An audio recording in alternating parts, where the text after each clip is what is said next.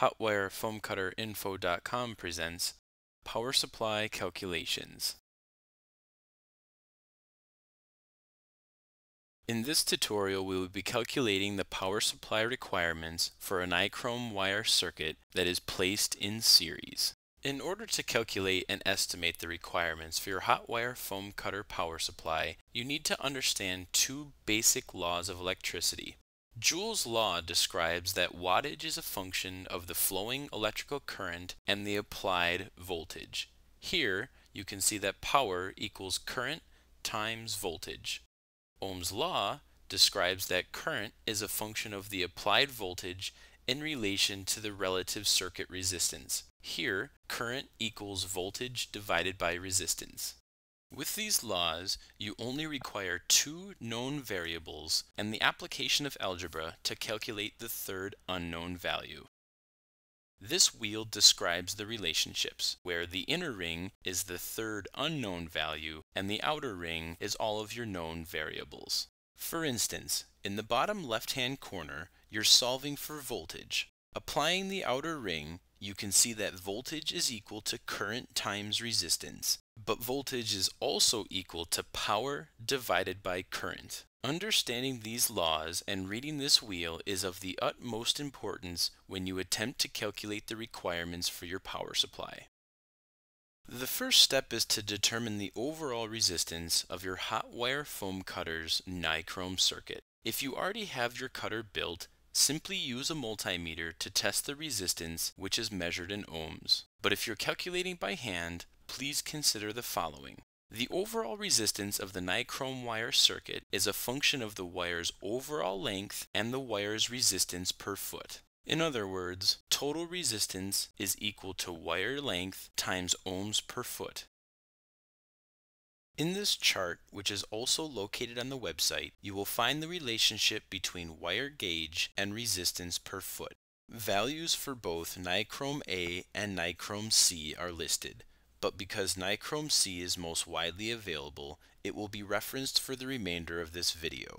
As you can see, a large diameter wire, like 10 gauge nichrome C, has much less resistance per foot in comparison to a small diameter wire like 40 gauge nichrome.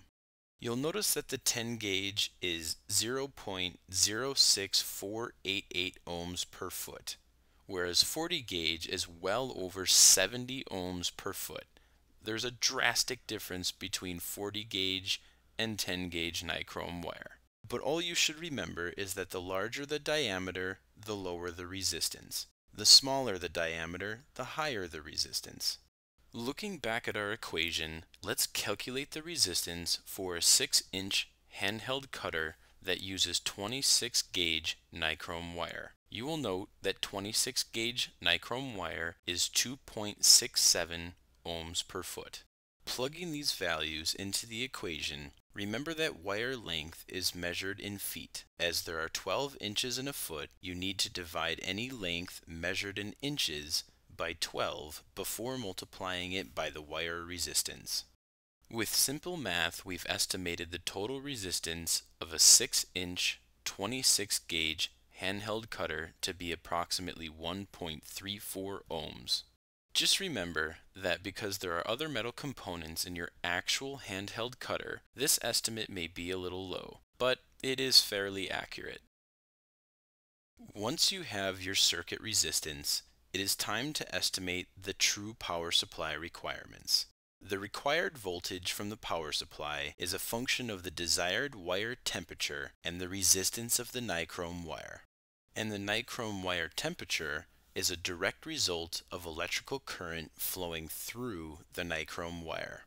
Think of it this way. The electrical voltage is a pressure gradient that is trying to push electrons through the nichrome wire. The resistance is trying to prevent that flow of electrons. And the current is the actual flow of electrons through that wire.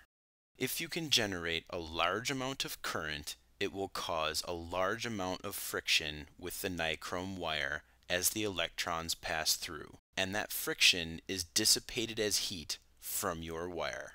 So if we want to generate a known temperature from the nichrome wire with a known resistance, we have to apply a high enough electrical voltage gradient to force the electrons through the wire.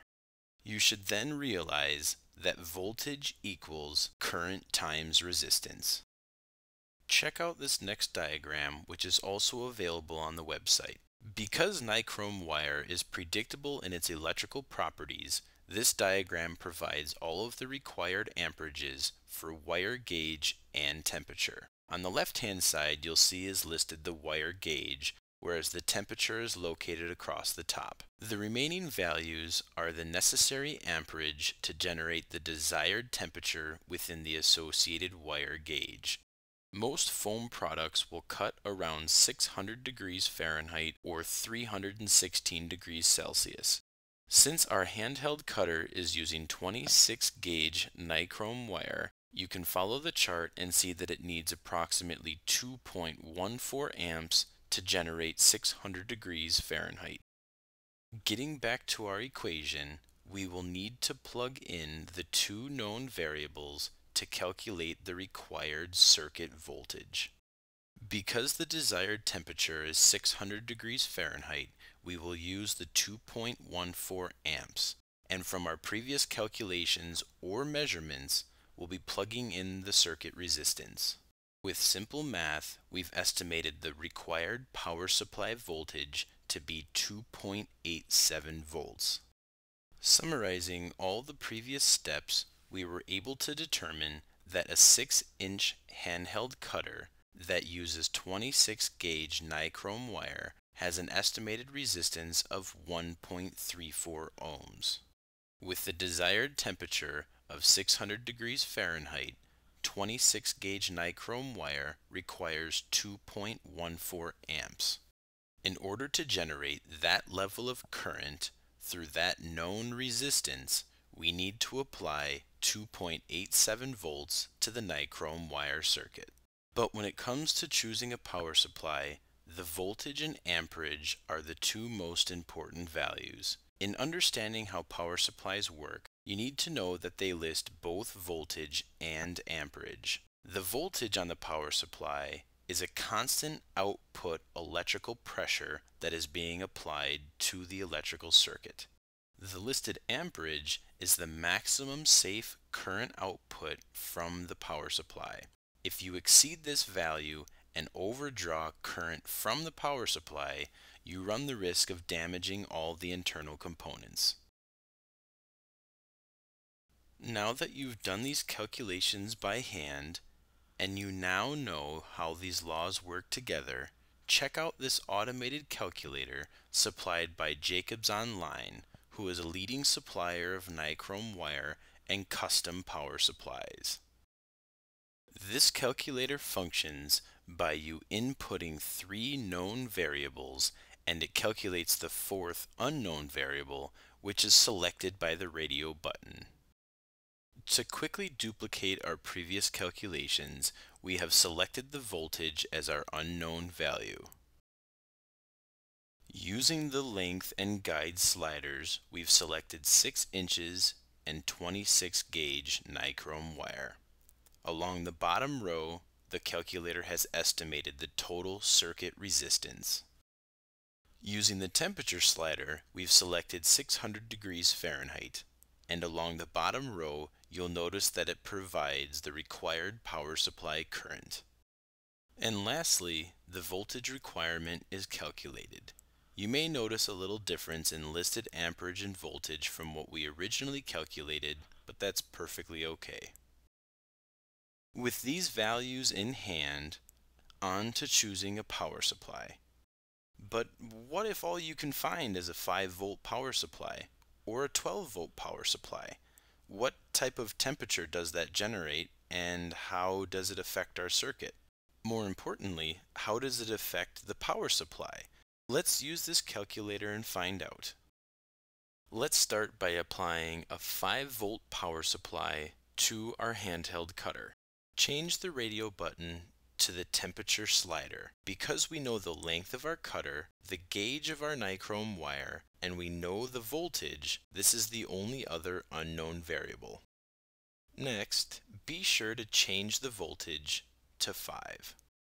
Using Ohm's law, the calculator generates 3.74 amps, which corresponds to almost 1200 degrees Fahrenheit. This is a significant increase in temperature by what would have seemed to be an insignificant increase in voltage. If you had purchased a power supply that was labeled at 5 volts and 2 amps, it would quickly heat up and burn out. That is because the power supply is only rated to output 2 amps, but because you're applying a higher voltage than what you originally calculated for, the nichrome resistance is allowing a faster current to pass through the wire. And at close to 4 amps, it is way too much output for that 2 amp power supply.